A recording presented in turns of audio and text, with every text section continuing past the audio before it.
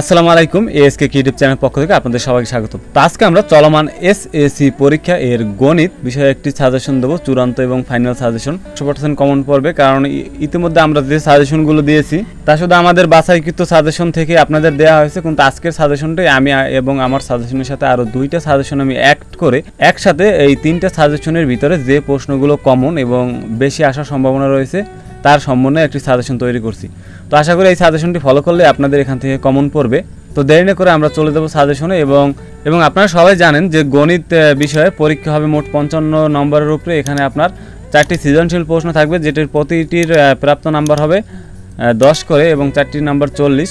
এবং সৃজনশীলের পরীক্ষার হচ্ছে আপনার এক ঘণ্টা চল্লিশ মিনিট এবং বহু নির্বাচনী প্রশ্ন থেকে তিরিশটা শর্ট পোর্শন থাকবে বা নৈবিত্তিক, সেখান থেকে আপনার পনেরোটির উত্তর দিতে হবে এবং এর সময় হচ্ছে আপনার বিশ মিনিট।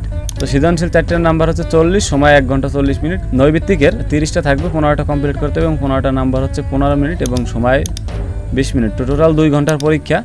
নাম্বার, প্রাপ্ত নাম্বার হচ্ছে পঞ্চান্ন। তো এরপরে বীজগণিত থেকে তিনটা প্রশ্ন থাকবে, জ্যামিতি থেকে তিনটা, ত্রিকোণমিতি থেকে তিনটা এবং পরিসংখ্যান থেকে দুইটা। তো মোট এগারোটা সৃজনশীল প্রশ্ন থাকবে। তো সেক্ষেত্রে আপনি এখানে এবছর কোনো বাছাই নাই যে ক বিভাগ, খ বিভাগ বা গ বিভাগ থেকে কোনো বিভাগ থেকে আপনার দুইটা দুইটা করে অ্যান্সার করতে হবে। এমন না, আপনি যে কোনো বিভাগের থেকে আপনি চারটা প্রশ্ন দিলে হবে। সেক্ষেত্রে যদি আপনি বীজগণিত করতে ভালোবাসেন বা বীজগণিত আপনি ভালো পারেন, সেক্ষেত্রে আপনি বীজগণিত চ্যাপ্টারটা একটু কমপ্লিট করবেন। তাহলে আপনি বীজগণিত থেকে তিনটার অ্যান্সার করে যদি আপনি পরিসংখ্যান ভালো পারেন, সেখান থেকে একটা করলে হবে। অথবা পরিসংখ্যান থেকে দুইটা বীজগণিত থেকে দুইটা।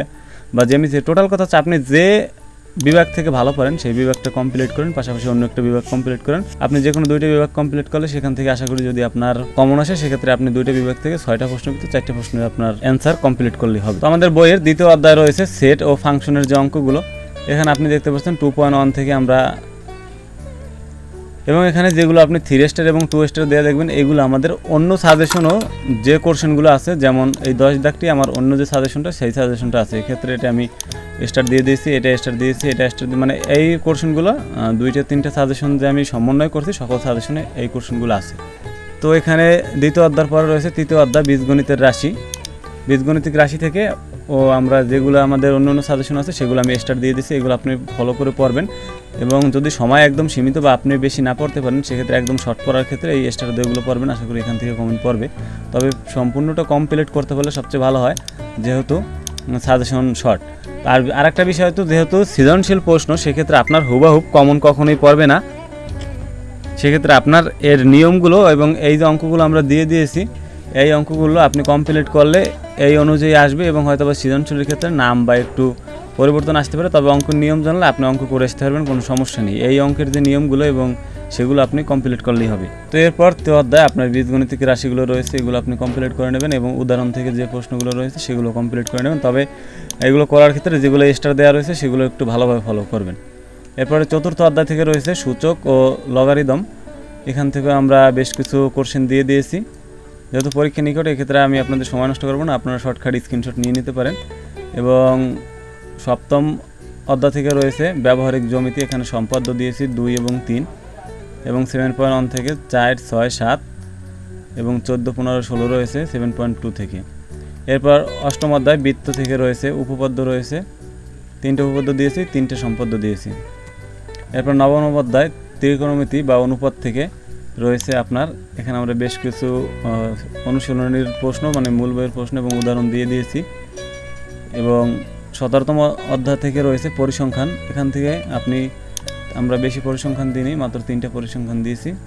আর পরিসংখ্যান করার ক্ষেত্রে আমাদের যে অন্য একটি সাজেশন আছে, সেটা আমি আপনাদের দেখিয়ে দেবো। পরিসংখ্যান থেকে যদি ভালোভাবে করতেছেন, সেক্ষেত্রে আমি ওই সাজেশনের ভিতরে বেশ কিছু পরিসংখ্যান রয়েছে।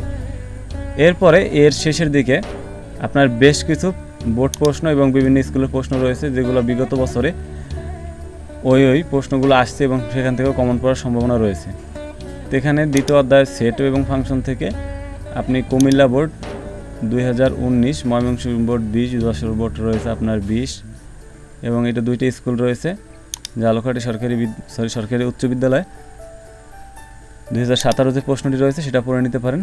এরপর বীজগণিতিক থেকে এই বোর্ড কোশ্চেনগুলো রয়েছে, সূচক থেকে এই বোর্ড কোশ্চেনগুলো এবং বৃত্ত ত্রিকোণমিতি থেকে রয়েছে দিনাজপুর, কুমিল্লা, সিলেট বোর্ডের দুই হাজার বিশ এবং ঢাকা সিলেট যশোর বোর্ডের দুই হাজার উনিশ এবং বৃত্ত থেকে রয়েছে ঢাকা দিনাজপুর সিলেট বোর্ড দুই হাজার বিশ এবং রাজশাহী দিনাজপুর বোর্ড দুই হাজার উনিশ এবং পরিসংখ্যানের যে বোর্ডগুলো রয়েছে ঢাকা, বরিশাল, চট্টগ্রাম, ময়মনসিংহ, দিনাজপুর, রাজশাহী বোর্ড থেকে দুই হাজার বিশ এবং ঢাকা, রাজশাহী, কুমিল্লা বোর্ড দুই হাজার উনিশ।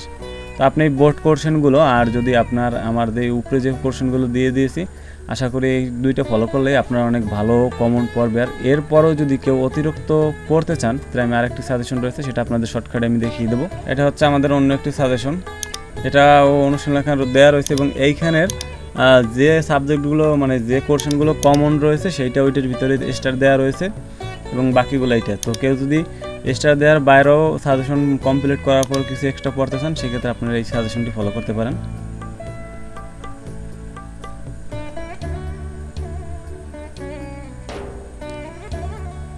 এবং এটায় কোনো বোর্ড কোর্শন নাই। পরিসংখ্যান যদি কেউ ওইখানে কম দেওয়া রয়েছে, যদি এক্সট্রা পড়তে চান সেক্ষেত্রে এখান থেকে পড়ে নিতে পারেন। তো আপনাদের আমি দুইটা সাজেশনই দিয়ে দিলাম। আপনারা প্রথমত প্রথমটা ফলো করবেন, এরপর যদি সময় পান, এটা যদি আপনি যদি না পড়তে পারেন, তাহলে আশা করি আমরা প্রথম যে সাজেশনটা দিয়েছি আপনাদের, এটা থেকে আশা করি আল্লাহ রহমত পড়লে একশো পার্সেন্ট কমন পড়বে। আর এরপরেও যদি আর এরপরে যদি কেউ শিওর হওয়ার জন্য পড়তে চান, সেক্ষেত্রে আপনি আমাদের দ্বিতীয় সাজেশনটা ফলো করতে পারেন। তো ধন্যবাদ সবাইকে ভালো থাকবেন সুস্থ থাকবেন দেখা হবে পরবর্তী ভিডিওতে আল্লাহ হাফিজ।